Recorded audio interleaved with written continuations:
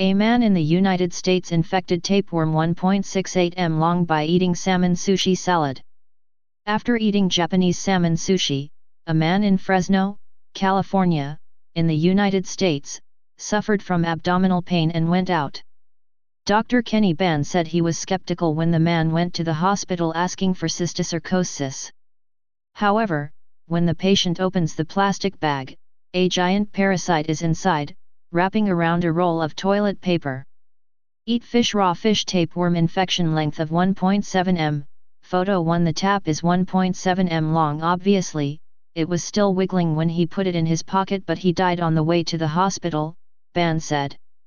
This patient told the doctor, while he had diarrhea, he looked down and thought it was part of his gut. A man in Fresno, California, USA, Eating traditional salmon sushi sushi of Japan should be infected tapeworm 1.68 m long. He had abdominal pain and went out, to see Dr. Kenny Banh in the city, everything was broken.